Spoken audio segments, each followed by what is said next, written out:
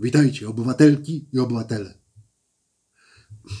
Oczywiście mógłbym trochę jeszcze pociągnąć generałem, tym bardziej, że dzisiaj 39. rocznica wprowadzenia stanu wojennego, a my lubimy obchodzić takie rocznice, gdzie y, mieliśmy przegwizdane.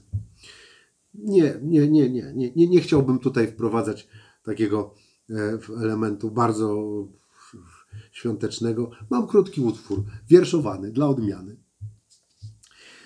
Kombatanckie myśli do głowy mi przychodzą, gdy przypominam sobie ówczesne rozruchy. Zabrakło teleranka, potem sześćdziesiątki, już nie tylko babcia, telefon też był głuchy. Nas kilka lat wcześniej straszono bezsensownie, że porywają dzieci do złej, czarnej wołgi. Wtedy się nie bałem. Zaś dokładnie pamiętam swój lęk, gdy zobaczyłem na ulicy czołgi. Wiedziałem, to ważne, że dzieje się historia. Za to zielonego nie miałem wszak pojęcia, co też do cholery się wkrótce z nami stanie i jakie będą skutki tego przedsięwzięcia. Nie chcę Państwu zabierać dziś cennego czasu, a zwłaszcza w tę niedzielę przy okazji święta. Niech poczytają młodzi, starsi niech przypomną. Rocznica ważna dosyć i warto pamiętać.